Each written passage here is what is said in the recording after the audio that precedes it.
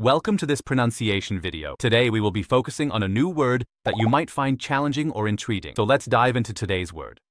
Kami, which means, Kim in Chinese. let's say it all together. Kami, Kami, Kami. One more time.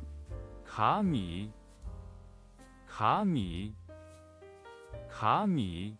Thank you for joining us on this adventure in pronunciation. Remember, language is a journey, not a destination. Keep exploring, experimenting, and expanding your linguistic horizons. We'll see you next time.